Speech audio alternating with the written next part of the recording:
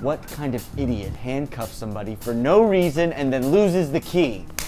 I know this one. I know it. Uh, this is a trick, right? Uh, Okay. Idiot, idiot, idiot, idiot! Come on, Jamie. I'm starting to feel bad for him. Bad enough to go on a date with me? Unfortunately, handcuffs my friends is still at the bottom of the list of things I look for in a guy. Well, then this is all your fault. Because if I would have known that, I never would have. Oh, this is such a joke. A joke. A joke.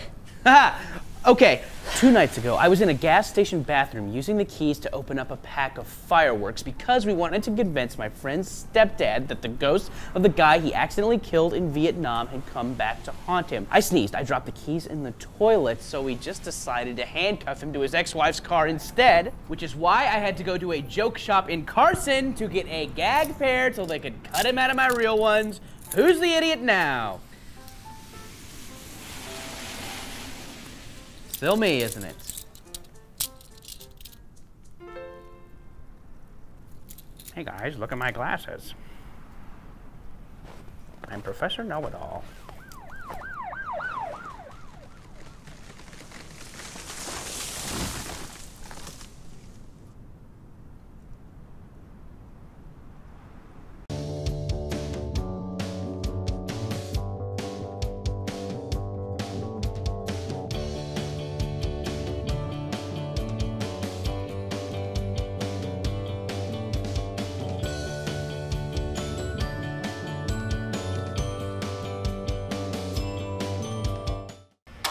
Ha ha ha ha!